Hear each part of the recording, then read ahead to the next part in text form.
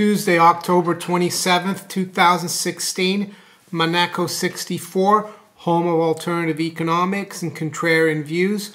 I like to talk about the uh, average uh, London house price uh, and the average price of gold in sterling. So I'm going to be looking at the uh, the ratio between the average London house price and the average price of gold going back to 1973 to the present day. And the reason I'm doing that is because I believe that gold and silver as well to some extent are the currencies or the money with the best track record for the last 5,000 years. And gold uh, maintains its purchasing power. It might, uh, you know, go up and down sharply in terms of fiat money, but over time uh, it maintains its purchasing purchasing power. Uh, an ounce of gold during Roman times, for example, could buy you a very good quality toga and sandals, and normally an ounce of gold now should buy someone a, a tailored suit uh, and a nice pair of brogues, leather brogues or leather shoes in, in London. And that would be way over 2,000 pounds, more like 5,000 pounds, I would say. So, yeah, the reason I'm doing this is also because a lot of viewers say, oh, uh, should I uh, be buying gold? Uh, I think it's overvalued. And just to let you know, this is, I'm not giving people advice here, uh, whether they should buy gold or not. I'm just giving the information. So basically, I, I've taken uh, data from Nationwide uh, Building Society, which is the largest UK, well, world building society in the world, and it's 160 years old. So they have data going back uh, many years. And I've taken uh, the average uh, sterling gold price from the LBMA data from the LBMA website. So I've gone back to 1973, and there's two. Um, you will see in the chart. Uh, well, I'll, I'll, bring up the chart now. So as you can see in the chart, uh, uh from 1973 to roughly 1996 that ratio was fairly uh, steady. We did trade up quite a bit since uh, the early 80s and then we came back down back around 1994 and we stayed uh, stabilized and all of a sudden there in 1997 it starts shooting higher uh, the nationwide average London house price to LBMA average sterling gold price ratio so that that means that that meant that from 1997 to 2004, um, gold became very undervalued uh, in terms of uh, uh, London houses. You needed uh, at the top of the market, well, at the top of the ratio in 2004, you needed uh, 1,030 ounces of gold to buy the average uh, London price. And just for curiosity, just to let you know like uh, the London average London house price in 1973 was 12,850 pounds. Uh, right now, 2016, that's the uh, third quarter uh, numbers.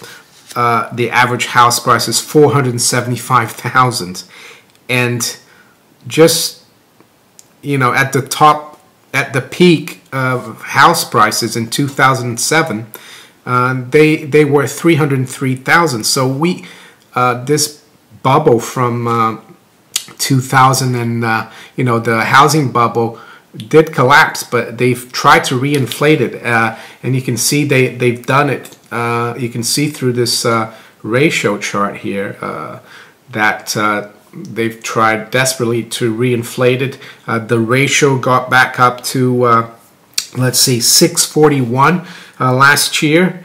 Uh, that's how many ounces you needed uh, to buy the average UK house price. Uh, but now the ratio is dropped because the price of gold has gone up basically from 700 uh, low 700s to to a thousand so right now the ratio is at 470 so personally I think this chart shows that uh, the period from you know, basically the mid 90s up until last year is an aberration. I know we had the correction since basically uh, the great financial crisis. We corrected all the way down to uh, 281.7 on the ratio in 2011. But I think we could go lower on that ratio. And uh, will that mean uh, higher gold prices or higher higher house prices? Will gold go up quicker or will gold go down quicker than house prices? I don't know. Uh, you know, it's difficult to say. Personally, I just think that holding gold uh, will, no matter, uh, you know, I think holding gold will be a good investment in terms of uh, relative to, to holding real estate in the UK in the next few years. I think uh, this bubble uh, that we saw, you know, from 1997 basically to, to maybe even to last year, if you want to consider it, that that's going to end. The financial engineering uh, cannot go on, and things will revert to normal. And they might even even undershoot on the downside because the low for the London house price uh, to gold ratio was 120 in 1980. So who knows? We could go back to 120. We could even go back to 100. Who knows? And if we go back to 100 and house prices remain pretty much where they are at 470,000. Uh, we could see gold at 4,700 uh, pounds uh, an ounce. Uh, or if we go back to the average, because I've looked also at the average from 1973 to 1996, the average uh, ratio uh, was 248 ounces that you needed to buy the average London house price. If we go back to that level and we stay where we are around 475,000, that would be 1900, uh, 1900 pound gold.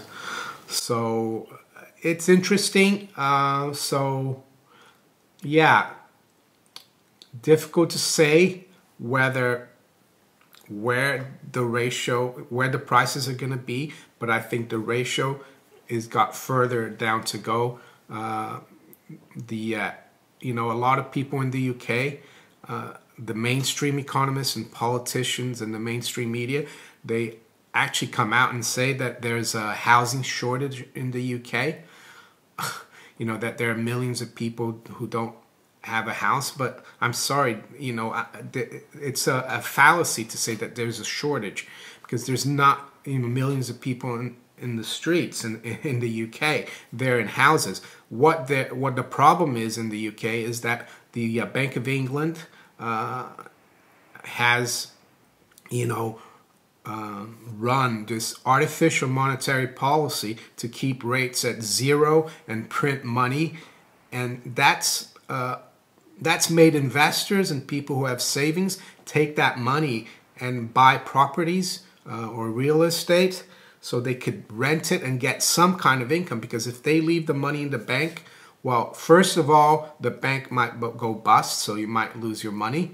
Second of all you're getting you know zero interest in the bank so we've never had more people renting i think there's 11 million uh, people who live in, in rented accommodation in the uk so this thing about when the bank of england and you know, politicians and uh, economists come out, oh, we have a housing shortage, shortage. We need to build build more houses in the UK.